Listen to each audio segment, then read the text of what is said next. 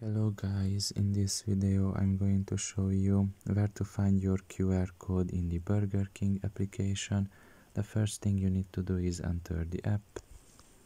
After you are done with that and you are in the home page, you should look down below and select the fourth option which is My Burger King, press on it.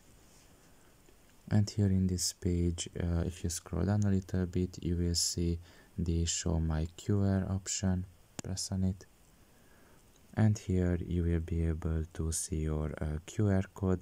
You can see it in numbers. In my case this is the number that you can see here. And uh, this is the QR code that uh, you can uh, scan basically. And um, yeah pretty much this is all about it. I hope this video was helpful to you. Thank you for listening and see you next time. Bye bye